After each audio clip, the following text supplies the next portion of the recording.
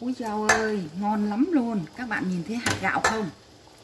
Trời ơi, hạt gạo nó mọng dễ sợ luôn này. Các bạn ơi, đây là dĩa bánh cúc Mà mình vừa mới làm xong. Hello, chào cô bác, anh chị em và các bạn. Bữa nay mình sẽ chia sẻ món xôi khúc. Ở đây mình có là một ký gạo nếp. Rau, cải rổ, hay còn gọi là gai lắm, tiếng ờ, Anh. 250 g bột nếp. 150 g đậu xanh. 300 g thịt heo. Muối. Tiêu. Hành phi bột nêm nấm dầu phi hành. Bây giờ mình bắt tay vào làm nhé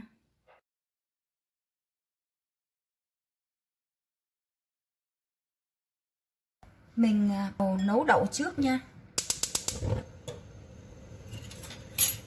Mình sẽ cho vào đây. Đậu này mình đã ngâm được 10 tiếng. Thì mình sẽ đổ nước ngập cái mặt khoảng gần 1 cm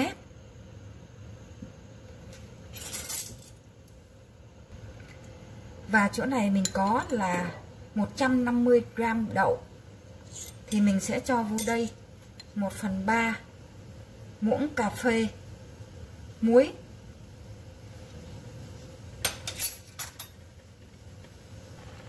đậu sôi các bạn vớt bọt đi dùm mình nhé.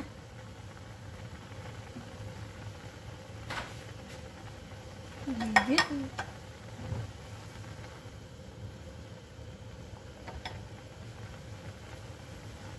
thường thì mình hay ngâm 10 tới 12 tiếng. Nấu nó rất là nhanh các bạn ạ. Trong thời gian chờ nấu đậu thì mình à, xào thịt nha các bạn. Ở đây mình dùng là dầu phi hành. Mình bỏ một chút xíu thôi.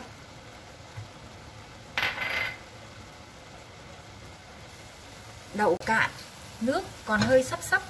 Mình sẽ đậy nắp lại và mở lửa còn số gần cuối cùng cho nó à, như hẳn nhé các bạn. Thịt ấy, thì mình dùng thịt vai và mình cắt nó bự bằng hai hột lựu nhé các bạn. Tùy theo các bạn thích cắt như thế nào thì cắt.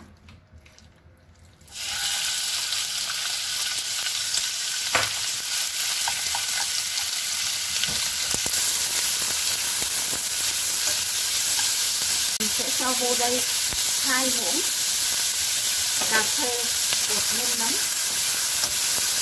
muốn gạt đi nha các bạn. Một phần tư, muỗng cà phê, muối.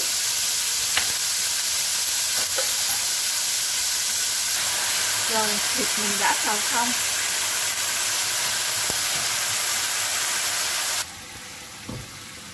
Mình à, kiểm tra đậu nhé.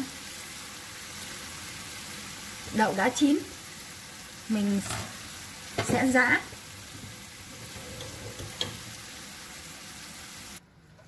mình viền đậu nhé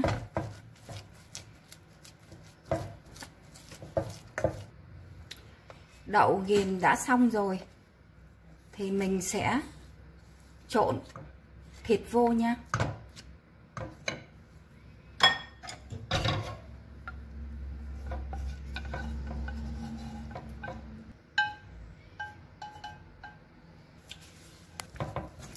trộn cho nó đều lên nha các bạn.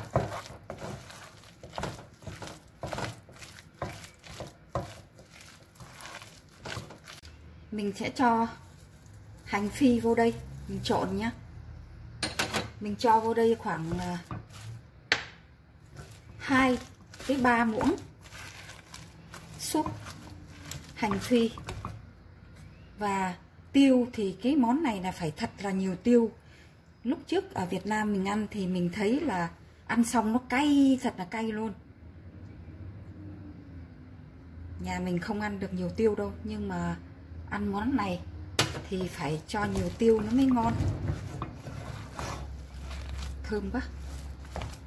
Mình cho vào đây khoảng một muỗng cà phê tiêu nha. Trộn xong rồi, mình sẽ đổ ra đây.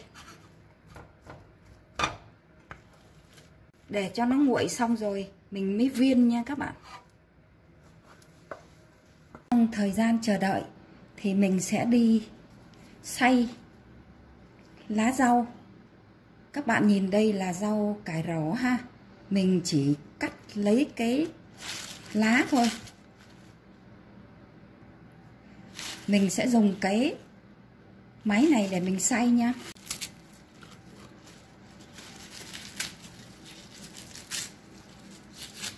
Ở bên Canada mình ấy có lá khúc mọc ở ven đường nhé các bạn. Nhưng mà nó chỉ mọc vào mùa hè thôi. Còn hiện bây giờ thì đang là bắt đầu mới uh, cuối mùa đông. Cho nên là không có. Mình dùng nước ấm nha các bạn.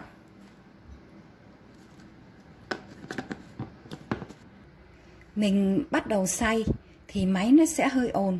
Các bạn à, mở nhỏ volume xuống dùm mình nhé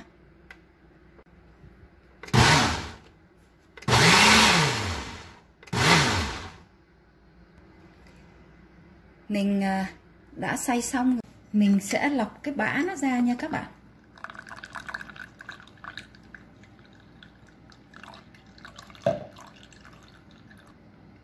Các bạn biết không? Cái lá cúc ấy là nó mọc ở ven đường hay là ngay tại trong vườn nhà bạn cũng có nha. Nó mọc lẫn với cỏ hay là chỗ cái vườn rau của bạn đấy. Để mùa hè nó mọc lên thì mình sẽ ngắt để cho các bạn coi lá nó như thế nào nhé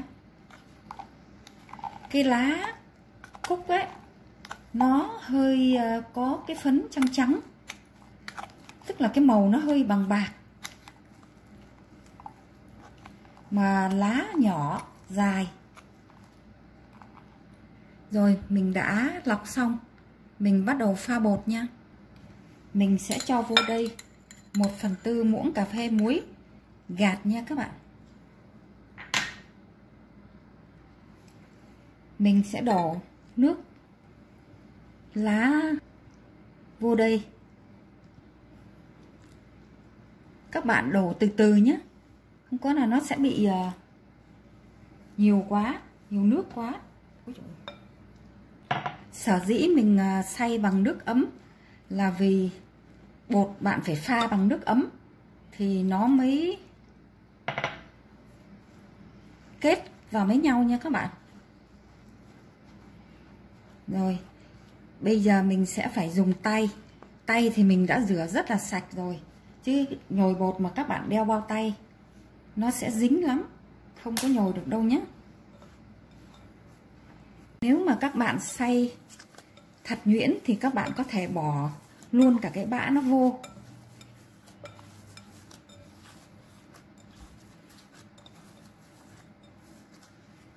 Bột nhồi xong rồi, mình để sang một bên và bắt đầu nặn nhân nha nhân đậu với thịt thì mình sẽ đắp nó ra như thế này. Cho nó thành hình chữ nhật này để mình cắt cho nó dễ nha các bạn. Thì nó sẽ được đều hơn. Chỗ này mình sẽ cắt làm 8 phần.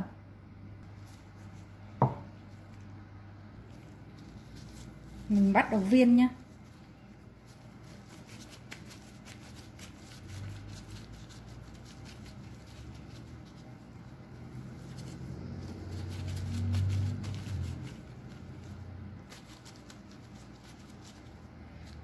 8 phần rất là đều rồi nhé các bạn. Bột đấy các bạn cũng nặn nó thành à, hình chữ nhật như thế này rồi mình. Sau đó các bạn cũng cắt ra làm 8 phần.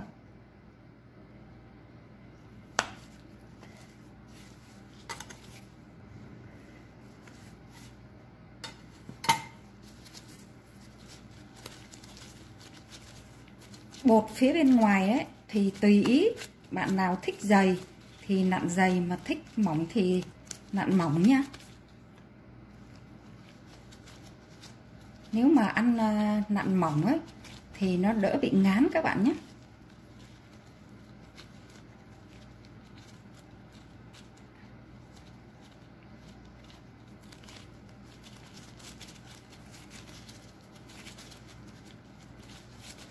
đó. Mình nặng như thế này là rất là vừa luôn đó. các bạn nặng cho tới hết rồi mình nhé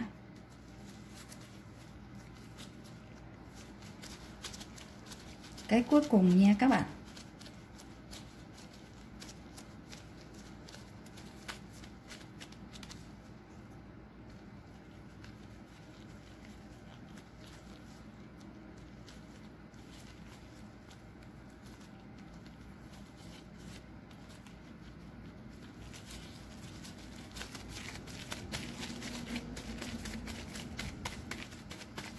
Xong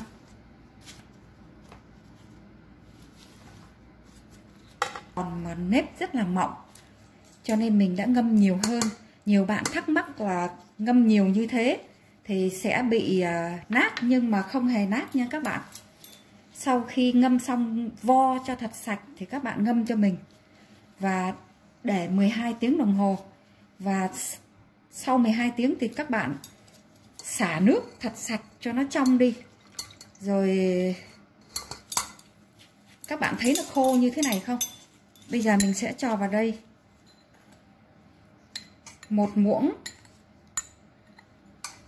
cà phê gạt muối với lại một phần tư gạt nữa.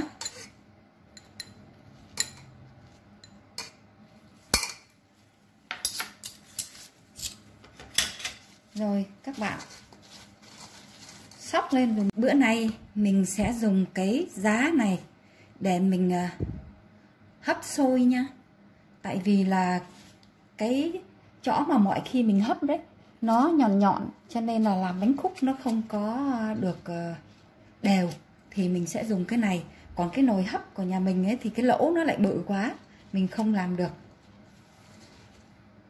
Bây giờ mình cho một nốt gạo vào đây trước.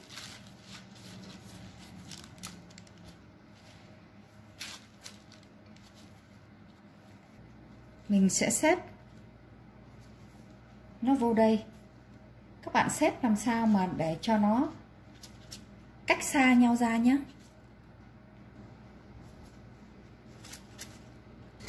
bây giờ mình sẽ đổ nếp lên trên.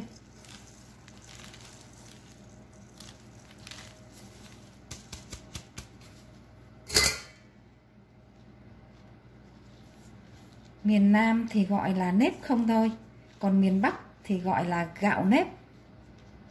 Đấy, mình đã phủ nếp lên đều như thế này và bây giờ mình sẽ cho vào nồi hấp nha. Nước sôi rồi thì mình cho vô hấp nha. Cái này là mình chế ra thôi. Tại vì cái nồi này lỗ nó bự quá không hấp được cho nên mình đã dùng cái rổ để mình hấp. Miền Nam gọi cái này là cái rổ mà miền Bắc thì gọi là cái giá là bởi vì cái lỗ nó nhỏ. Nó à, tức là nó không có lỗ. Còn có lỗ mà bự ra thì người ta sẽ gọi là cái rổ. Bây giờ mình sẽ kiểm tra nha. Úi dao ơi ngon lắm luôn. Các bạn nhìn thấy hạt gạo không? Trời ơi hạt gạo nó mọng dễ sợ luôn này đó thấy không? Rất là ngon nhá. Bạn nào mà nói là ngâm ờ, lâu quá thì sẽ bị ờ, nát, không hề nát mà rất là khô ngon nè. Thấy không? Giờ mình sẽ tắt bếp và lấy sôi ra nha bây giờ thì mình ờ, mời các bạn thưởng thức nha